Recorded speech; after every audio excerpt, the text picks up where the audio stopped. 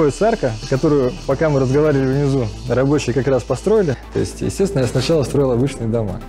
Но я вижу, что это дорого. Я стал искать, как это можно сделать дешевле. И вот я придумал наружную несущую стенку. Вот эти своды, они все как раз э, собирается нагрузка именно в ту точку, где вот это колодезное бурение было.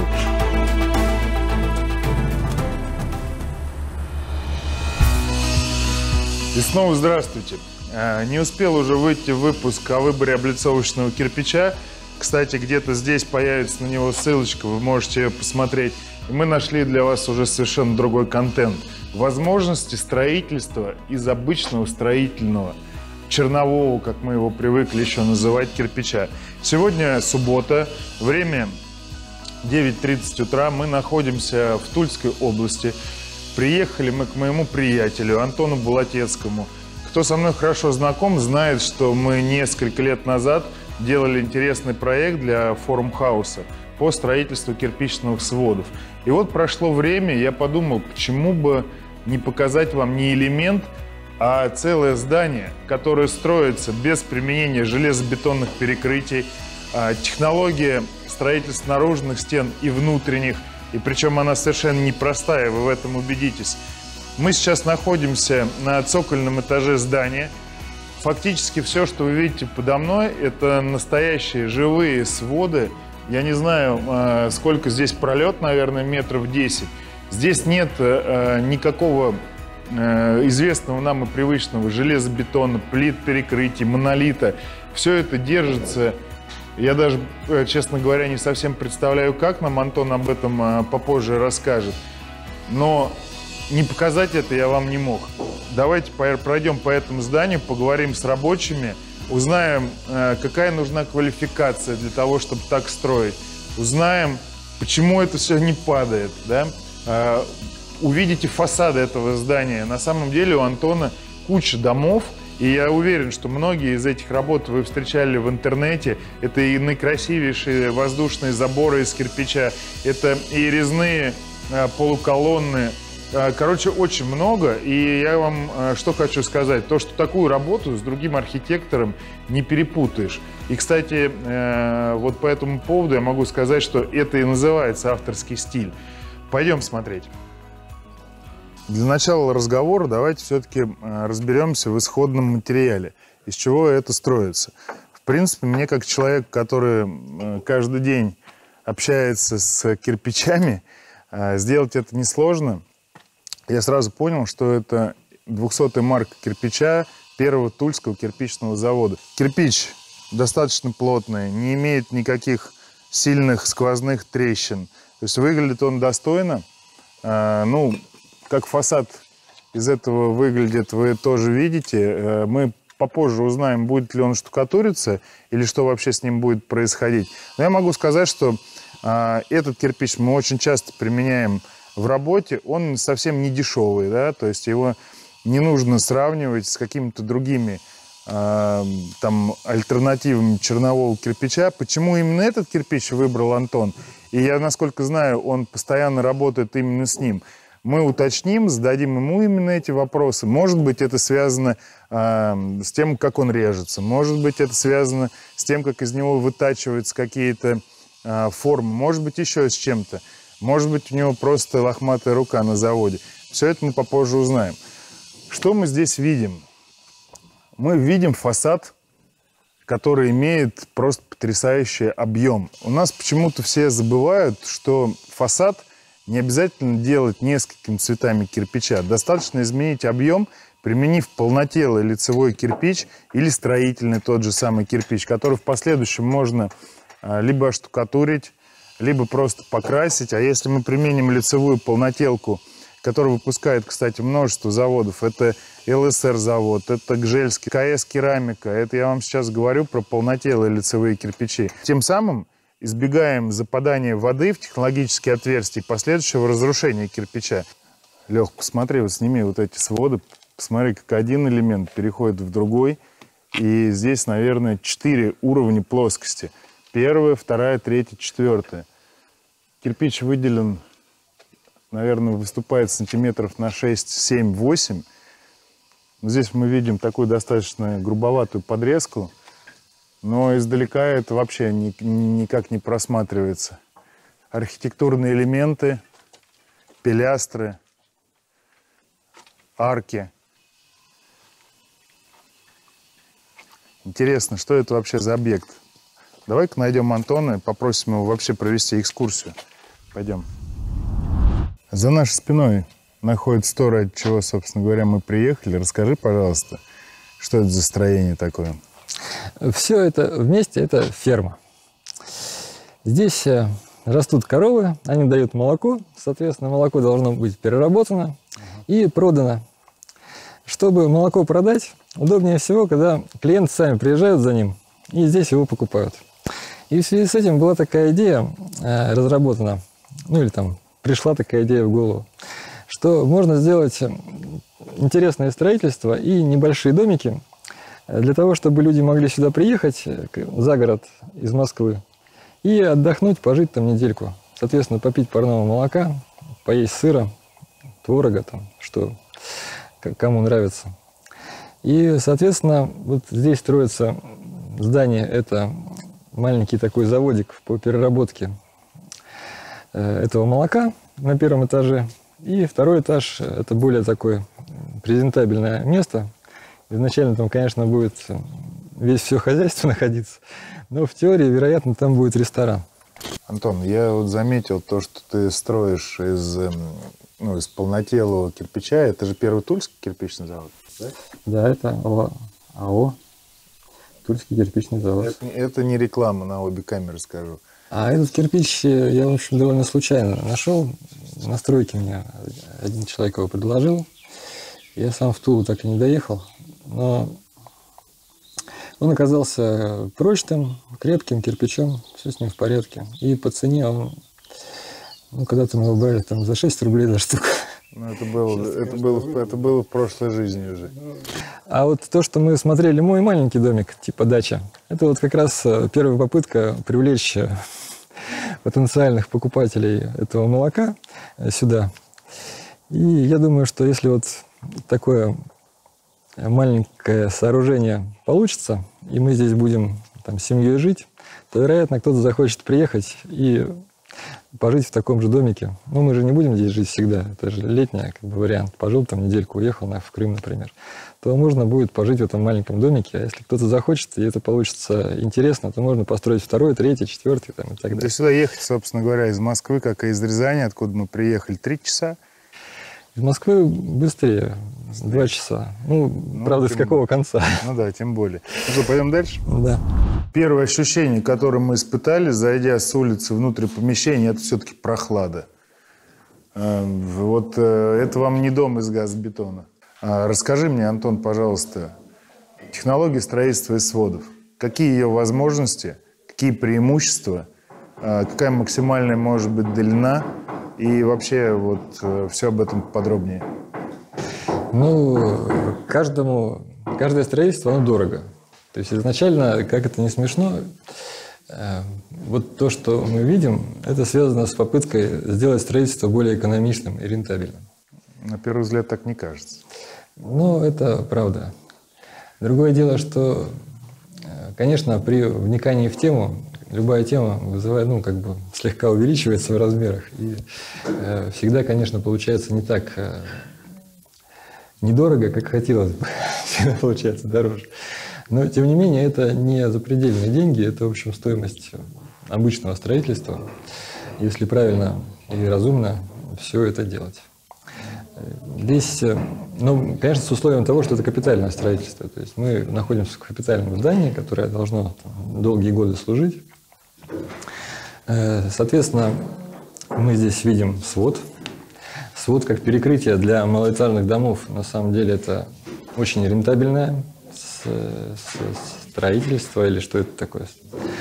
Конструкция, очень рентабельная конструкция. Ну, вариант это, решения вопроса я бы назвал. Ну, да? рентабельная в том плане, что, допустим, по сравнению с железобетоном, здесь не нужна опалубка.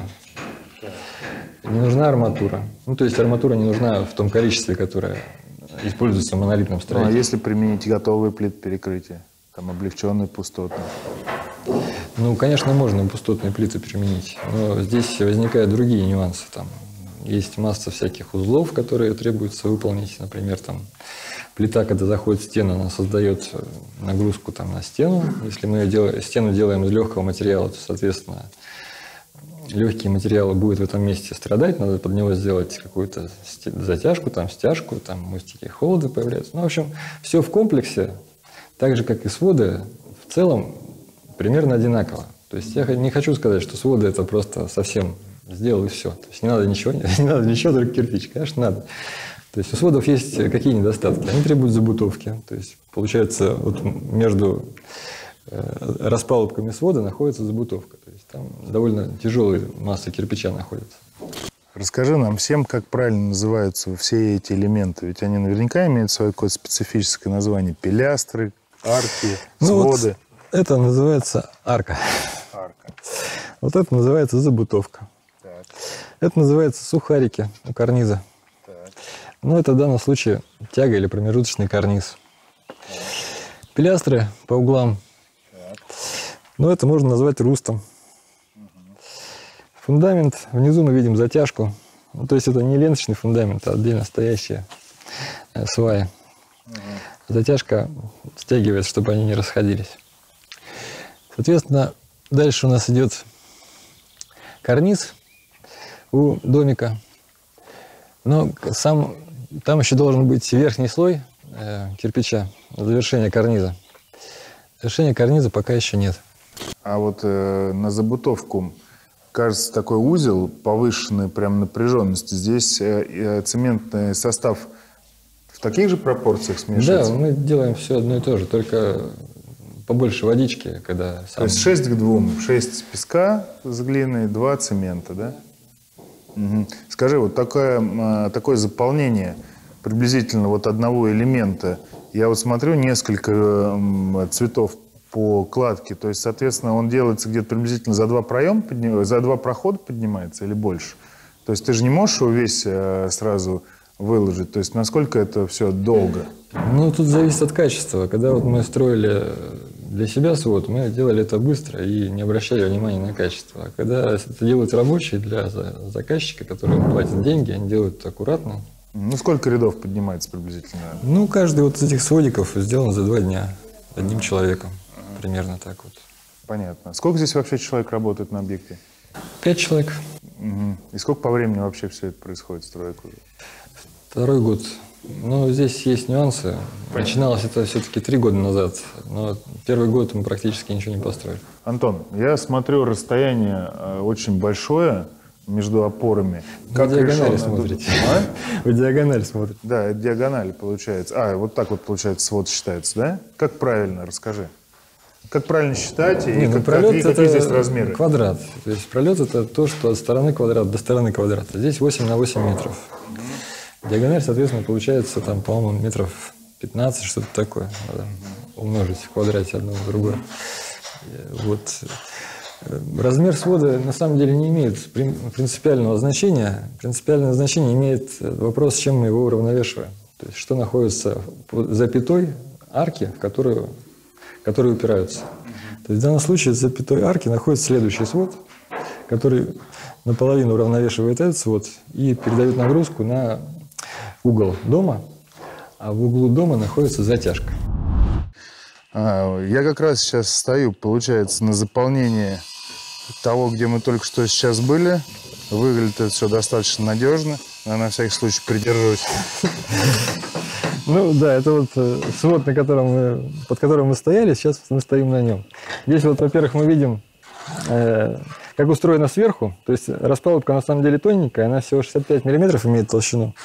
И дальше идут ребра жесткости, которые, собственно, несут нагрузку, которая будет на этот свод опираться. За нами находится арка, которую, пока мы разговаривали внизу, рабочие как раз построили. То есть это было совсем не длительный процесс.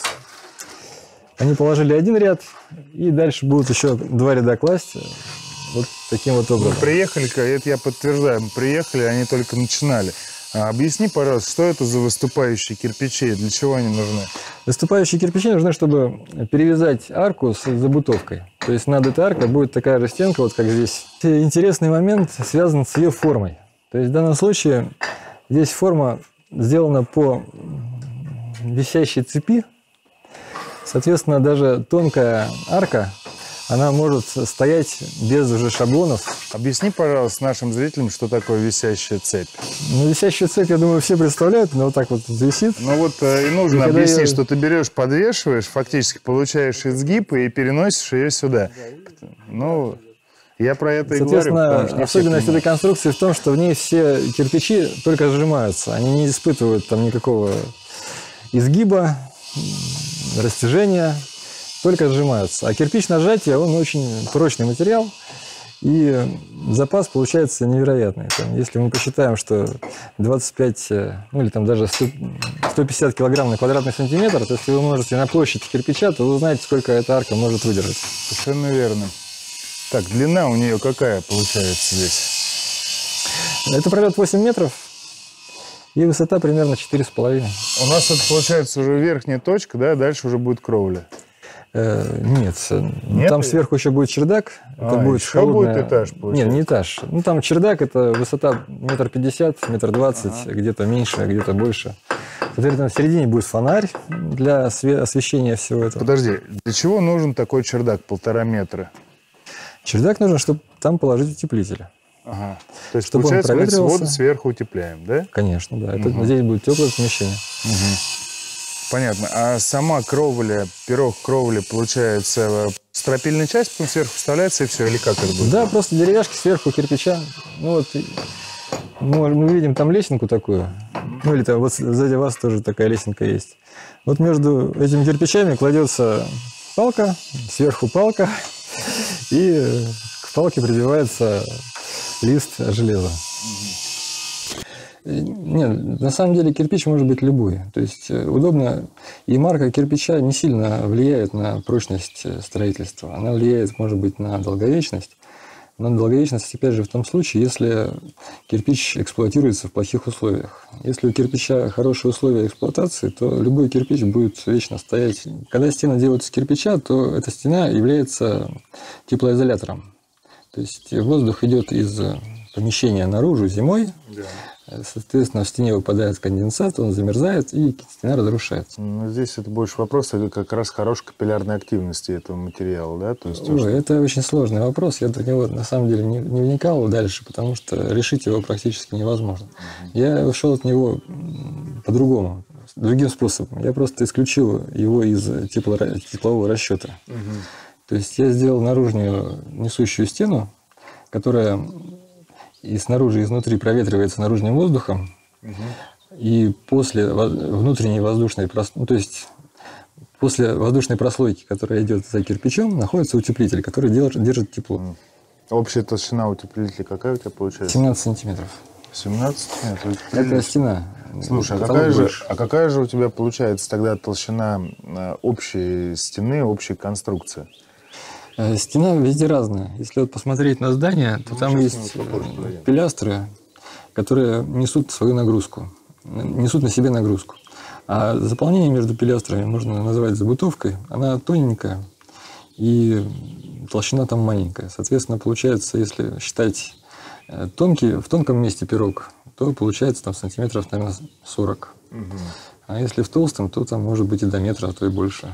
Ну, там вот, например, углы, если смотреть, там большие углы. Слушай, ну вот метр толщиной, наверняка сейчас многие подумают, какой же под это нужен фундамент, сколько же это вообще денег, и нафига это вообще нужно.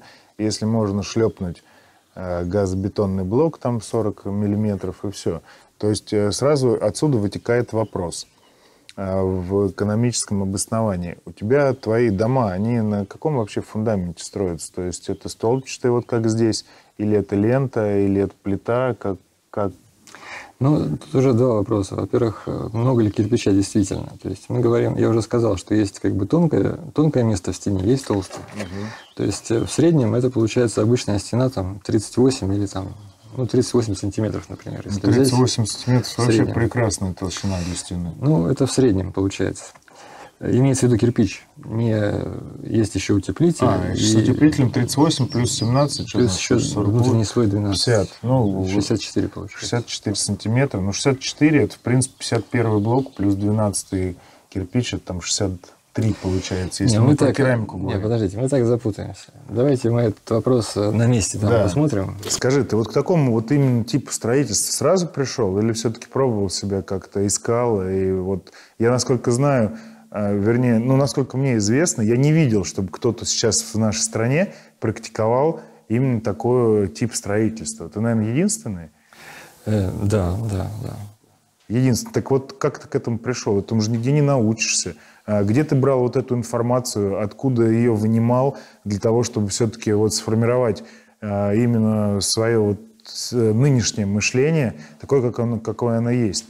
Это иностранная литература или что? Нет, я работаю с частными заказчиками. У них у всех есть свои интересы. Так. Часто они совпадают, ну, в смысле, являются общими для всех заказчиков. И когда для них строишь дом, то многое выясняешь, как должно быть, что требуется. То есть, естественно, я сначала строил обычные дома. Но я вижу, что это дорого. То есть э, часто в обычных домах используют, ну, обычных домах, это, конечно, в кавычках, непонятно, что такое. Но вот э, там 10 лет назад э, было принято использовать монолитные перекрытия, утеплитель снаружи, там, снаружи там отделывать еще кирпичом и так далее. То есть получается масса работы, которая одна дублирует другую. другую. Например, вот несущая стена внутри, а потом есть еще фасад снаружи. Так.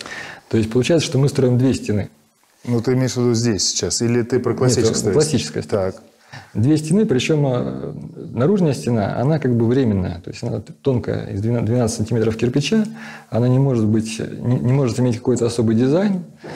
И поэтому как бы работа архитектора заключается только в том, чтобы нарисовать план. И дальше, в общем-то, уже как здание выглядит, как будто бы не важно. Но для частного заказчика на самом деле. Это очень важно, потому что он приезжает в свой дом, он хочет, чтобы он был красивый. И он видит его каждый день, там, дети воспитываются и так далее. То есть, в счете, наружная стенка, которая как бы не нужна, она просто закрывает утеплитель, обрастает разными там, скульптурами, там, навесными деталями, там, колоннами, пилястрами там, и так далее. То есть получается уже две настоящих тяжелых стены. И все это должно стоять на фундаменте, который тоже, соответственно, увеличивается, там, все это закрывается крышей. Ну, в общем, получается, что все это дорого. Я стал искать, как это можно сделать дешевле. И вот я придумал наружную несущую стену. Вот мы, кстати, можем ее посмотреть. Пойдем. Это вот наружная несущая стена. А это как бы внутренняя часть, на которой, находит, на которой опирается свод. Наружная стена является несущей, соответственно, ее масса может быть использована для того, чтобы иметь декоративные разные архитектурные формы. И сами, даже сами эти архитектурные формы, они являются как бы конструкцией и тоже участвуют в несущей способности стены. Угу. То есть, получается, вот здесь у нас что, потом утеплитель вставляется? Да, здесь надо обратить внимание на дырочки. Вот здесь вот видите, дырочки есть. Ага. Это дырочки для воздуха. Так, вентиляция. Да. Ну, там фактически оставлено место вкладки, а, который просматривается на улице. Мы его да, можем снаружи увидеть да. или там отсюда. Просто тут неудобный уровень, когда это не очень видно. Соответственно, на расстоянии 3 сантиметра от наружной стены крепится утеплитель. И остается между наружной стеной и утеплителем воздушная прослойка, которая вентилируется наружным воздухом. Так. Это нужно, чтобы сушить утеплитель, который мокнет от влаги. Ну, от пара изнутри. От пара, который идет изнутри помещения. Фундаменты я использую отдельно стоящие блоки. Я, вот мы последнюю разработку такую сделали вот на соседнем здании. Угу. Приезжает бурильная машина, которая бурит колодцы, выбуривает яму глубиной 2 метра. А диаметр? У нее метр десять диаметр. И следом приезжает бетономешалка и заливает до нужного уровня. А на какую глубину? Ну, 2 метра глубина получается. То есть 2 на метр, сколько ты сказал? 2 на метр 10. Ничего себе, серьезно. И, и, соответственно, я так понимаю, что при такой технологии строительства из свода, вся нагрузка распределяется как раз в эти места. Да, вот особенность этого строительства как раз в том, что нагрузка идет именно на колонну, ну, в смысле на фундамент, фундаментный блок. Понятно. Вот здесь вот как раз э, именно то, о чем ты говорил, то есть вот эти своды, они все как раз э, собирается нагрузка именно в ту точку, где вот это колодезное бурение было, да? Да, правильно. Вот каждый столб стоит над э, этим фундаментом. Между ними стяжки есть какие-то, да? Между собой эти фундаменты связываются стяжкой. Стяжка проходит... Ну, в данном случае эта стяжка выходит наружу, она связывает между собой столбы. Она армированная, в ней проходит как бы арматура, которая связывает между собой столбы. Потом на стяжке лежит утеплитель, на утеплителе лежит гидроизоляция, и на гидроизоляции лежит та стяжка, по которой мы ходим сейчас, которая останется как пол. Приблизительно толщина этого пирога какая общая получается? Ну, каждая стяжка по 7 сантиметров Плюс утеплитель 5 или 7. В данном случае здесь 5, вообще должно быть 7. То есть я начал рассказывать про то, что изобрел наружную кирпичную стену. И, соответственно, э, с появлением, с появлением этой стены сначала использовалось монолитное перекрытие. Но монолитное перекрытие для частного строительства требует каждый раз покупки опалубки и арматуры. И, конечно, это разорение, и потом эта фанера, в общем, лежала без дела. И я придумал сначала деревянное перекрытие, но когда стали строить деревянное перекрытие, то оказалось, что это практически ну, то же самое монолитное. То есть там нужно много дерева. Там. Потом мы делали это дерево два слоя, чтобы шум не проходил. Соответственно, тоже это оказалось, что с монолитным перекрытием не намного дешевле. Ну, например, половину, правда, дешевле. Но все равно как бы оно же и по качеству все-таки слабее. Не такой долговечный. И тут вдруг оказалось, что можно делать своды. Ну, как бы вот такая идея пришла. Почему не сделать свод? И оказалось, что по сравнению с э, монолитным перекрытием свод, по идее, должен быть эффективнее. При том, что он совершенно капитальный, не боится пожара, не пропускает звук, имеет хорошую акустику. соответственно, таким образом, от э, обычного здания я потихоньку пришел к тому, что мы сейчас видим, э, пытаясь, в общем-то, не сделать что-то необычное, а просто по логике вещей по логике как бы вот того, что надо строить, того, что нужно частному заказчику, и то, что, на мой взгляд, в общем, этому соответствует. Как это правильно называется элемент? Это замковый камень угу. с горгулей. Угу. В данном случае это, как видите, козы. Ну, потому что мы на ферме, наверное. Да, ферме. Это сделано из бетона с белым цементом. Внутри арматура, то есть это такие вставки в кирпичную кладку, которые Скажи, создают, придают душу строитель постройки. И это вот э, форма, в которой это было отлито. Ты сам это изготавливаешь, где заказываешь? Я заказываю. А где есть... заказываешь, может быть, ребятам будет интересно? Да, Алиса Рожевская. То есть это, в принципе, что? Это э, силиконовая форма, в которой уже виднеется коза. Изначально это было сделано из глины, Угу. Глина была облита этой вот резиной. Угу. Резина жидкая была. Угу. Она застывает. И после этого, когда вот так вот это выглядит, угу. сверху заливается гипс, как бы опалубка. Потом глина достается, все переворачивается, и сюда заливается бетон с армированием. Скажи, а можешь ли ты, а, может быть, Э, для наших подписчиков и для людей, которые, допустим, смотрят, именно э, занимаются каменными кладками, мы оставим ссылочку на тебя, чтобы они с тобой договорились и, может быть, поучились этим работам, узнали вот именно тонкости, как своды делать, как э, кружалы эти выставлять и так далее. То есть это вообще возможно здесь обучение в процессе? Да, я вот, в общем, даже одно время приглашал народ помочь мне с моей дачей. Соответственно, можно помочь и поучиться Супер. Друзья, мы внизу оставим ссылочку, а, как можно с Антоном связаться, либо его номер телефона, либо ссылку а, на его сайт. Вы можете ему позвонить и договориться о посещении. И, в принципе, если такое состоится, мы с удовольствием еще раз приедем. Можно сделать вообще отдельный выпуск и показать э, с нуля до, допустим, того момента, как люди собственными руками соберут арку. Обязательно пишите в комментариях, что вы об этом думаете. Так, друзья, давайте подведем итог. Сегодня мы с вами познакомились с принципом строительства, кирпичного строительства на сводах. А, познакомились с прекрасным архитектором Антоном Блатецким, узнали о таком прекрасном месте, получили возможность для того, чтобы посетить этот объект и пройти обучение. А, Созванивайтесь, приезжайте. И самое главное, что мы поняли, что инвестиции в свое собственное строительство – это очень важный вопрос.